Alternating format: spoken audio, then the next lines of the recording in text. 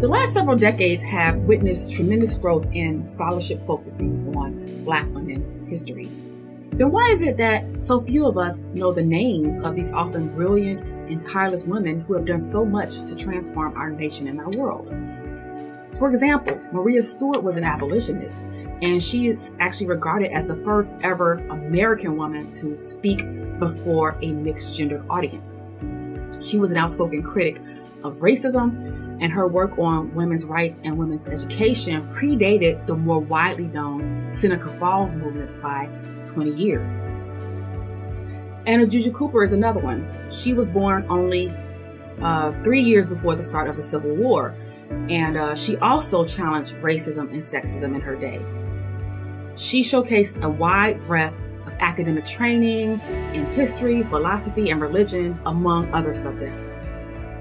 She published a book in 1892 entitled A Voice from the South, which should stand as part of the standard curriculum today.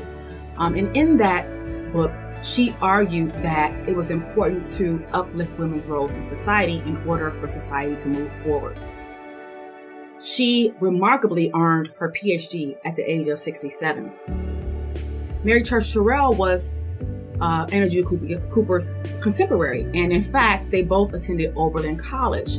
Um, Mary Church Terrell was a prominent leader in the women's suffrage movement, and she presided over the National Association of Colored Women, um, an organization that claimed thousands of members. In 1950, she could be found on a picket line challenging segregation in DC at the age of 86. Ella Baker was also involved in a number of organizations. She helped Martin Luther King Jr. manage the Southern Christian Leadership Conference, or the SCLC, um, but she championed this notion of group centered leadership, uh, so which helped her found a theory that she used to found the Student Nonviolent Coordinating Committee, or SNCC, in 1960.